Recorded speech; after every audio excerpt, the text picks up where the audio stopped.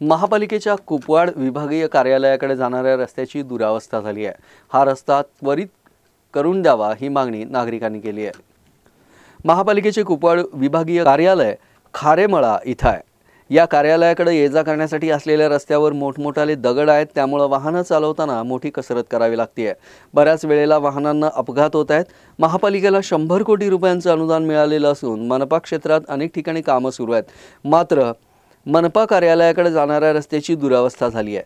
सहाय्यक आयुक्तांना तातडीनं काम करण्यासाठी निधी उपलब्ध असतो मात्र रस्त्याचं काम होताना दिसत नाही.